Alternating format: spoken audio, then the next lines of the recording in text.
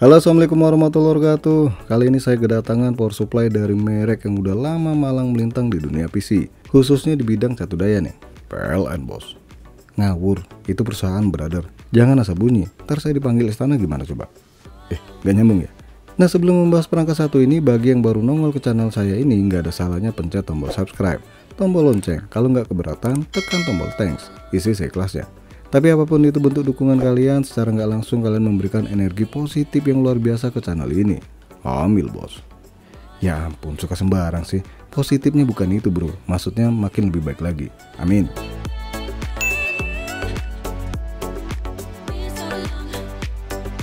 FSP Hydro G Pro 850 watt 80 plus gold fully modular. Harga 2,1 juta rupiah dengan garansi hingga 10 tahun. Siapa yang nggak kenal merek satu ini? FSP, yap, salah satu produsen power supply OM dan ODM. OM ini nggak ada hubungannya dengan OMG. Apa itu bos? Yang mana? OMG ya? Jangan gila bos. Sorry-sorry canda doang. OM itu singkatan dari Original Equipment Manufacturer. Sedangkan ODM dari Original Design Manufacturer. Ya silahkan kalian cari informasi mengenai hal ini ya. Nggak usah mager. Tinggal ngetik aja kok. Oke kita bahas keunggulan power supply besutan FSP ini. Pertama, jelasnya udah support PCI Express 50 dan udah ATX 30 Nanti kita jelasin singkat aja deh. Kedua, ukuran yang kecil tapi punya tenaga yang besar. Daya 850 watt, bodinya masih compact nih. Keempat, ketiga bos.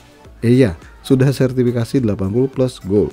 Yang punya efisiensi mencapai 90% pada beban 50% Jelas ini bisa menghemat biaya listrik ya Terus punya tombol eco yang berfungsi membuat konsumsi daya lebih rendah dan gak berisik saat bebannya di bawah 30%.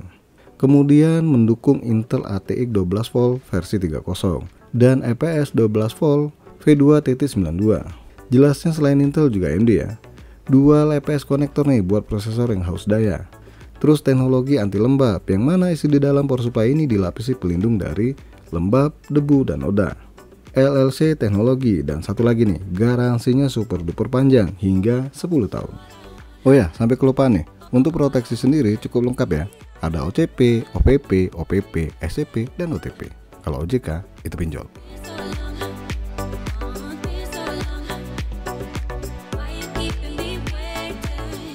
Dus power supply dari FSP ini tergolong besar ya. Di dusnya cukup jelas informasi yang diberikan baik depan, belakang, bahkan samping dus pun ada nih. Komplit deh pokoknya. Nah sekarang kita bahas singkat aja nih. ATX 30 dengan PCI Express 50 ATX 30 merupakan standar power supply baru nih dari Intel. Salah satu kelebihannya ya bisa menghandle lonjakan daya dari GPU yang secara tiba-tiba nih. Itulah kenapa power supply yang ATX 20 kalau nggak bisa handle lonjakan ini PC jadi hang, crash, ngambek. Ya macam nggak bisa handle bini yang tiba-tiba minta duit lebih. Kelari dulu So pastinya teknologi ATIK 30 ini bikin yang pakai PC-nya lebih nyaman. Lanjut PCI Express 50. Kalau ada logo ini dipastikan power supply-nya punya konektor terbaru nih, yaitu konektor PCI Express 50 atau bahasa jelimetnya sih 12 VHPWR, singkatan dari 12 volt high power. Ribet banget ya tulisannya. Ini konektor buat GPU ya, konektor khusus yang bisa menyalurkan daya dari 150 watt hingga maksimal 600 watt ke GPU. Konektor ini berjumlah 12 plus 4 pin ya. Hitung aja deh pinnya ada berapa. Jadi totalnya 16 pin ya. Kalau konektor yang kita kenal saat ini yaitu konektor 6 pin atau 8 pin. Nah kalau konektor 6 pin itu hanya bisa menyalurkan daya 75 watt. Sedangkan yang 8 pin bisa menyalurkan daya 150 watt. Jadi seandainya ada VGA atau GPU yang butuh 400 watt, berarti butuh 3 konektor 8 pin nih. Apa nggak banyak banget nih kabel yang bakal dicolok di power supply ataupun di VGA-nya. Sedangkan PCI Express 50 cuma satu kabel doang nih dicolok ke GPU kelas high-end sekalipun. Ya macam RTX 4090. Itulah kenapa power supply satu ini sangat siap untuk PC masa depan.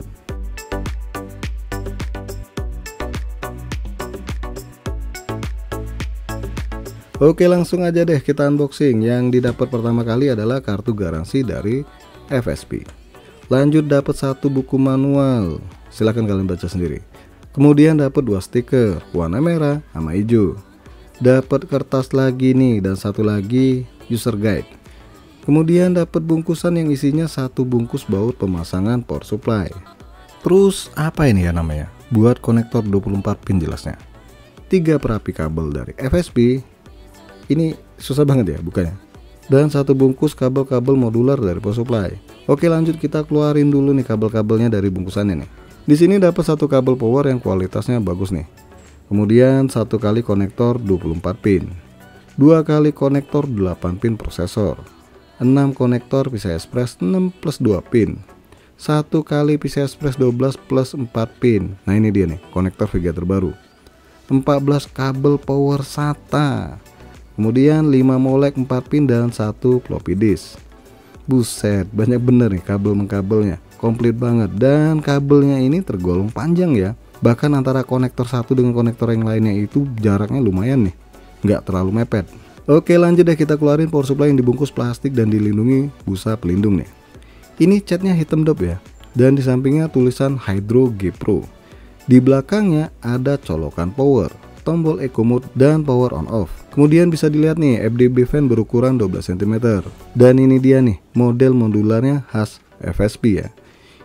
Ini VGA sama power supply biarpun mirip-mirip tapi terpisah ya. Jadi jangan sampai salah pasang. Dan ini dia spesifikasi detail dari power supply FSP Hydro G Pro ini.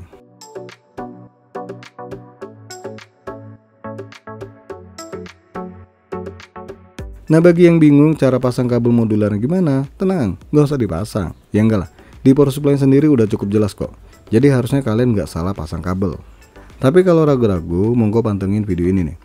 Pertama kita pasang kabel power 24 pin motherboard yang posisinya terpisah jadi dua nih. Jangan lupa konektornya dipasang sampai bunyi klik ya. Ini buat memastikan konektor terpasang dengan baik. Terus pemasangan kabel power 8 pin prosesor. Di sini ada dua nih. Ya terserah mau nancep di mana nih. Lanjut pemasangan konektor 12 plus 4 pin atau 16 pin ya. Konektor VGA terbaru dan cuma satu doang yang mesti dicolok. Ini juga yakin deh nggak bakal kebalik. Terus konektor VGA pada umumnya yaitu PCI Express 6 plus 2 pin. Dan di sini ada tiga colokan ya. Wajar kalau totalnya 6 konektor PCI Express 6 plus 2 pin. Terakhir peripheral macam kabel power SATA atau molek 4 pin. Nah, yang ini beda sendiri nih. Bentuk konektornya gepeng alias apa ya? Ya, pokoknya gitulah tinggal dicolok udah gitu doang gimana simple banget kan yang penting wajib dipastikan kalau konektornya benar-benar terpasang dengan baik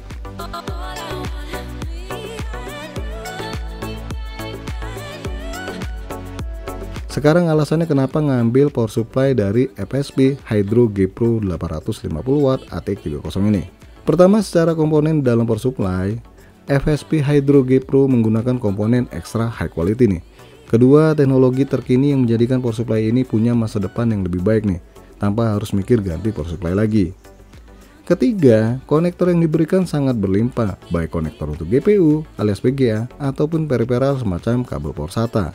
Dan terakhir, garansi yang diberikan sangat-sangat panjang ya, hingga 10 tahun. Sampai mikir nih, 10 tahun kemudian apa saya udah jadi sultan ya? Pengen bos. Eh, enggak juga sih, cuma pengen ngelarin cicilan. So intinya bagi kalian yang ngejar PC high-end, punya fitur komplit dan teknologi terkini, maka FSP Hydro G Pro ini bisa dijadikan pilihan buat racikan PC gaming atau editing ke depannya. Kalau duitnya masih kurang tenang, masih ada temen buat ngutang. Kalau nggak dipinjemin, ya tinggal dibocorin rahasianya. Ya enggak lah, tabung aja dulu. Namanya ngejar barang berkelas mesti sabar biar kata badan lemas.